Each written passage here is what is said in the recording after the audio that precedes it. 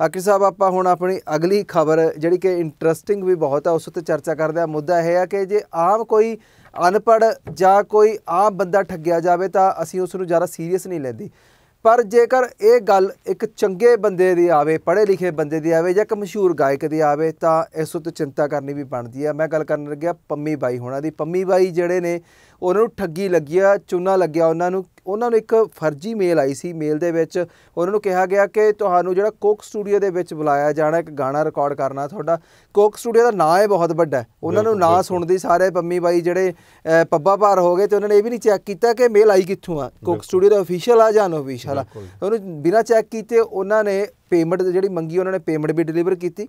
ਕਿਸ਼ਤਾਂ ਦੇਣ ਦੀ ਵੀ ਗੱਲ ਆਖੀਆਂ ਉੱਤੇ ਤੇ ਉਹਨਾਂ ਦਾ ਗਾਣਾ ਰਿਕਾਰਡ ਹੋਣਾ ਸੀ। ਜਦ ਕਹਿੰਦੇ ਪੰਮੀ ਬਾਈ ਕਿਸ਼ਤਾਂ ਦੇ ਚੁੱਕੇ ਸੀ ਜਦ ਇਸ ਲਈ ਤਿਆਰੀਆਂ ਕਰ ਰਹੇ ਸੀ ਜਾਣ ਦੇ ਮੂਵ ਹੋਏ, ਤਦ ਉਹਨਾਂ ਨੂੰ ਪਤਾ ਲੱਗਿਆ ਕਿ ਉਹਨਾਂ ਨਾਲ ਬਹੁਤ ਵੱਡਾ ਫਰਾਡ ਹੋ ਗਿਆ। ਆਖਿਰ ਸਾਹਿਬ, ਅਨਪੜ੍ਹ ਠੱਗਿਆ ਜਾਵੇ ਤਾਂ ਅਸੀਂ ਕਿਤੇ ਨਾ ਕਿਤੇ ਮੰਨ ਲੈਂਦੇ ਆ ਪਰ ਜੇ ਪੜ੍ਹਿਆ ਲਿਖਿਆ ਬੰਦਾ, ਸੂਝਵਾਨ ਬੰਦਾ, ਜੇ ਇੰਨੇ ਸਾਲ ਵਿਚਰਦਾ ਇੰਡਸਟਰੀ 'ਚ, ਉਹ ਬੰਦਾ ਇੰਡਸਟਰੀ ਹੀ ਉਹਨੂੰ ਠੱਗੇ ਜਾਂ ਇੰਡਸਟਰੀ ਦੇ ਜਿਹੜੇ ਚੋਰ ਨੇ ਉਹੀ ਉਹਨੂੰ ਠੱਗਣ ਤਾਂ ਕਿਸ ਪਾਸੇ ਨੂੰ ਜਾਓ ਇੰਡਸਟਰੀ? ਅਸਲ ਗੱਲ ਉਹੀ ਆ ਜਾਂਦੀ ਹੈ ਨਾ ਜੀ ਕਈ ਵਾਰ ਚੰਗੇ ਲੋਕ ਵੀ ਐਸੀ ਮਾੜੀ ਪ੍ਰਵਿਰਤੀ ਦੇ ਉਹ ਮਤਲਬ ਭਾਗੀਦਾਰ ਬਣ ਜਾਂਦੇ ਆ ਜਿਹੜੀ ਪੰਮੀ ਬਾਈ ਦੀ ਆਪਾਂ ਗੱਲ ਕਰਦੇ ਹਾਂ ਬਿਲਕੁਲ ਠੀਕ ਹੈ ਇਹ ਜਿਹੜੇ ਸੋਸ਼ਲ ਸਾਈਟਾਂ ਦੇ ਉੱਤੋਂ ਅਸੀਂ ਕਿਤੇ ਇੱਕ ਥਾਂ ਕਿਸੇ ਨੂੰ ਆਪਣਾ ਕੰਟੈਕਟ ਨੰਬਰ ਦੇ ਆਈਏ ਤੁਸੀਂ ਅੱਜ ਆਪਣੇ ਮੋਬਾਈਲ ਚੈੱਕ ਕਰ ਲਓ ਤੁਹਾਨੂੰ ਕਿੰਨੀਆਂ ਕੰਪਨੀਆਂ ਦੇ ਫੋਨ ਆਉਂਦੇ ਆ ਤੇ ਉਹ ਸਭ ਜਾਲੀ ਹੈ।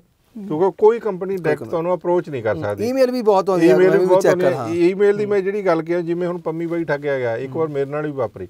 ਮੈਂ 2013 ਦੇ ਵਿੱਚ ਯੂਕੇ ਗਿਆ ਤੇ ਉਦੋਂ ਜਦੋਂ ਮੈਂ ਵਾਪਸ ਭਾਰਤ ਪਰਤਿਆ ਤਾਂ ਮੈਨੂੰ ਇੱਕ ਮੇਲ ਆਉਂਦੀ ਹੈ ਕਿ ਤੁਹਾਡਾ 5 ਲੱਖ ਪਾਉਂਡ ਦਾ ਜਿਹੜਾ ਇਨਾਮ ਨਿਕਲਿਆ ਉਹਦੇ ਉੱਤੇ ਭਾਰਤ ਦੇ ਜਿਹੜੇ ਆਰਬੀਆਈ ਦੇ ਗਵਰਨਰ ਸੀ ਰਘੂ ਰਾਮ ਜਿਹੜੇ ਰਿਟਾਇਰ ਹੋ ਗਏ ਉਹਨਾਂ ਦੇ ਬਕਾਇਦਾ ਸਿਗਨੇਚਰ ਵੀ। ਔਰ ਉਹੀ ਸ਼ੇਅਰ ਵਾਲੀ ਫੋਟੋ ਅੱਛਾ ਮੈਂ ਦੋ ਚਾਰ ਬੰਦਿਆਂ ਨੂੰ ਆਪਣੇ ਨਾਲ ਜ਼ਿਕਰ ਕੀਤਾ। ਮੈਂ ਕਿਹਾ ਉਹ ਕਹਿੰਦੇ ਸਭ ਬੋਗਸ ਹੈ। ਵੀ ਜਦੋਂ ਤੁਸੀਂ ਕੋਈ ਪਾਰਟਿਸਿਪੇਟ ਹੀ ਨਹੀਂ ਕੀਤਾ ਤੁਸੀਂ ਕੋਈ ਟਿਕਟ ਨਹੀਂ ਖਰੀਦੀ ਤੁਸੀਂ ਕੋਈ ਲਾਟਰੀ ਨਹੀਂ ਪਾਈ ਤੁਸੀਂ ਕਿਤੇ ਜਾ ਕੇ ਕੋਈ ਉਹਦੇ ਕਸੀਨੋ 'ਚ ਗੇਮ ਨਹੀਂ ਖੇਡੀ। ਵੀ ਫਿਰ ਤੁਹਾਨੂੰ ਆਰਾਮ ਕਾਹਦਾ ਮਿਲੂਗਾ? ਉਹ ਮੈਨੂੰ ਵੀ ਜੱਚੀ ਗੱਲ ਗੱਲ ਤਾਂ ਠੀਕ ਹੈ। ਅੱਛਾ ਮੈਂ ਉਹਨੂੰ ਅਨਡਿਟ ਕਰਤਾ। ਮੈਂ ਉਹਨੂੰ ਬਲੌਕ ਮਾਰਦਾ। ਫਿਰ ਦੂਜੀ ਸਾਈਡ ਤੋਂ ਕਿਤੋਂ ਆ ਗਈ ਮੈਨੂੰ। ਘੱਟੋ ਘੱਟ 10 ਈਮੇਲਾਂ ਮੈਨੂੰ ਉਸੇ ਪੈਟਰਨ ਤੋਂ ਆਈਆਂ ਵੀ ਉਹ ਲਿਖਦੇ ਸੀ ਕਿ ਆਹ ਡਾਕੂਮੈਂਟ ਸਬਮਿਟ ਕਰੋ। ਵੀ ਇੰਨੀ ਫੀਸ ਭਰੋ ਬਾਕੀ ਪੇਮੈਂਟ ਤੁਹਾਡੀ ਸਿੱਧੀ ਤੁਹਾਡੇ ਅਕਾਊਂਟ ਟ੍ਰਾਂਸਫਰ ਹੋ ਜੂ। ਤੇ ਲਾਲਚੀ ਬੰਦਾ ਫਸ ਵੀ ਜਾਂਦਾ।